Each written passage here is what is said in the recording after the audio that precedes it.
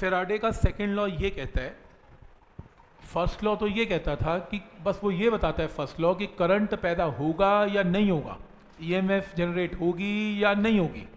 Second law बताता है कितनी जनरेट होगी? उसकी वैल्यू क्या होगी? दो वोल्ट होगी, चार वोल्ट होगी छः वोल्ट होगी, कोई वैल्यू भी तो होती होगी।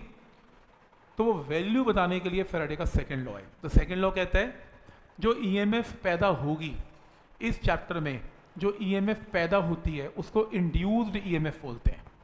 तो इस चैप्टर में ईएमएफ वर्ड अकेला बिल्कुल गलत है। ईएमएफ बैटरी के लिए यूज़ करते हैं। हम छोटे ई से रिप्रेजेंट क्या करेंगे? इंड्यूस्ड ईएमएफ तो जो इंड्यूस्ड ईएमएफ पैदा होगी फेराडे कहता है कि वो जो इंड्यूस्ड ईएमएफ है, वो rate of change of flux के डायरेक्टली प्रोपोर्शनल है। तो किसने पूछा इसका मतलब क्या है? समझाओ। मतलब ये कि जैसे सपोज़ करो, इस लूप में फ्लक्स की वैल्यू यहाँ पर हंड्रेड थी। तुमने क्या कर दी? ज़ीरो कर दी। तो एक बच्चा कहता है, फिर डी फाई कितना है? मैंने कहा, देख, सौ में से ज़ीरो गया सौ। तो तुमने फ्लक्स कितना चेंज किया? सौ माइनस ज़ीरो सौ। को डाउट तो वो कहता है कि ठीक है, फिर इसका मतलब मैं समझ गया कि ईएमएफ कुछ पैदा होगी। मैंने कहा, बिल्कुल होगी। फिर वो कहता है कि एक और लैब में गया था, उसमें फ्लक्स हज़ार था वन थाउज़ेंड और वन थाउज़ेंड ज़ीरो हो गया। तो फिर मैंने कहा डी फाई यानी कि कितना हो गया? वन थाउज़ेंड माइनस ज़ीरो तो कहता कि ज़्यादा ईएमएफ पैदा होगी। मैंने कहा, बिल्कुल ठीक, क्योंकि न्यूमिनेटर ज़्यादा है तो ईएमएफ ज़्यादा पैदा होगी। तो उसने कहा कि, क्या ये हमेशा ट्रू है? नहीं, मैंने कहा, हमेशा ट्रू नहीं है। कहते, कैसे? मैंने कहा, देख हंड्रेड वाले केस में हंड्रेड से ज़ीरो हुआ डी फाइव डी फाइव की वैल्यू हंड्रेड से ज़ीरो हुई। मैं लिख देता हूँ यहाँ पर case number one case number two ये देखो, ये केस नंबर वन है और ये केस नंबर टू है। मैंने केस नंबर वन में डी फाइव को क्या लिया? हंड्रेड माइनस ज़ीरो और केस नंबर टू में मैंने डी फाइव को क्या लिया? वन थाउज़ेंड माइनस ज़ीरो तो रूल तो मैथ तो यही कह रहा है न्यूमिनेटर बड़ा है, इस केस में तो ई ज़्यादा पैदा होगी। ना ने कहा था ज़रूरी नहीं है। समय डिनोमिनेटर में क्या आ रहा है? टाइम तो किसी ने हंड्रेड से ज़ीरो करने में पॉइंट वन सेकेंड लगाया। ये देखो हंड्रेड था ज़ीरो हो गया पॉइंट वन सेकेंड तो डिनोमिनेटर में क्या आया? पॉइंट वन इतना फ्लक्स चेंज हुआ इतने समय में। और हज़ार से ज़ीरो पता कैसे किया? हज़ार से ज़ीरो ये देखो। आधा घंटा हो गया लेके बैठे हुए। हज़ार से ज़ीरो ना कर पाया। आधे घंटे का मतलब है थर्टी मिनट्स लो 1800 सेकंड लगा दिए उसने। डिनोमिनेटर इतना बड़ा कर बैठा, जो ईएमएफ e बढ़नी चाहिए थी, उल्टा वो ईएमएफ e घट गई। तो इसका मतलब चेंज ऑफ़ फ्लक्स पे डिपेंड नहीं करेगा। कितनी जल्दी तुमने चेंज किया फ्लक्स उस पर भी डिपेंड करेगा। क्या बात समझ में आ रही है? तो इसलिए उसने कहा rate of change of flux कौन जल्दी जल्दी फ्लक्स चेंज करेगा और ज़्यादा फ्लक्स चेंज करेगा? तो स्टेप समझ में आया यहाँ तक? तो इसलिए टाइम भी मैटर करता है और डी फाई तो मैटर करता ही करता है।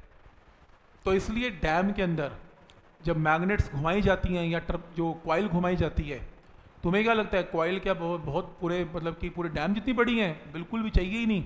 कॉयल छोटी यूज़ कर लो। मैग्नेट बड़ी मत यूज़ करो। मैग्नेटिक फ़ील्ड कितना ही बड़ा कर लोगे। पानी ज़ोर के घेर लो। डैम का पानी ज़बरदस्त तरीके से गिरता है, जिससे टर्बाइन बहुत तेज़ घूमती है। कॉयल खतरनाक तरीके से घूमना शुरू करती है। तो rate of change of flux में टाइम बहुत छोटा है, बहुत तेज़ घूम रही है। इसलिए चाहे फ्लक्स ज़्यादा नहीं चेंज हो रहा टाइम बहुत कम करके ई e बहुत ज़्यादा जल्दी जनरेट होती है और हमारे घरों में जो बिजली पैदा होती है या बिजली आती है, वो डैम से ऐसे ही आती है।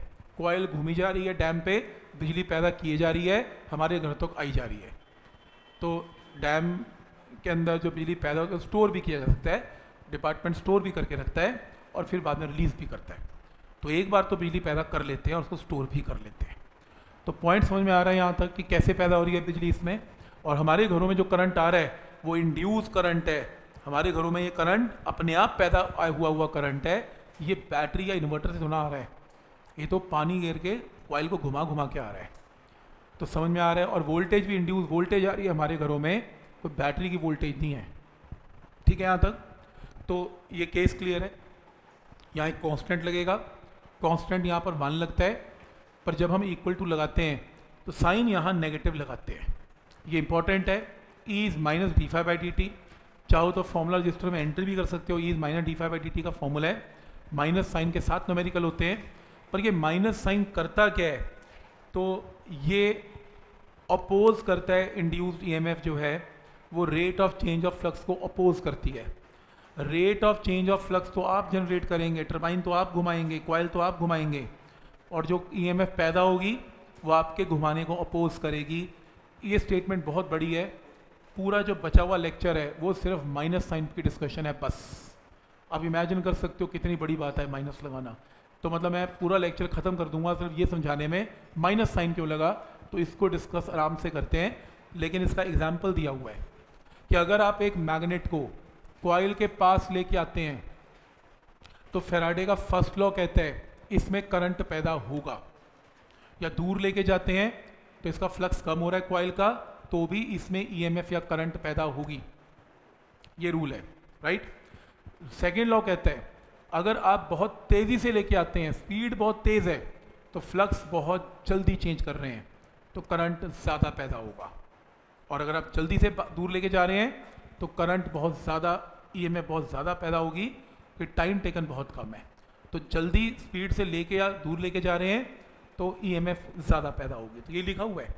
When magnet is moved faster magnetic flux linked with the coil changes at a faster rate emf जो जनरेट होगी वो ग्रेटर होगी वो बड़ी होगी ठीक है यहाँ तक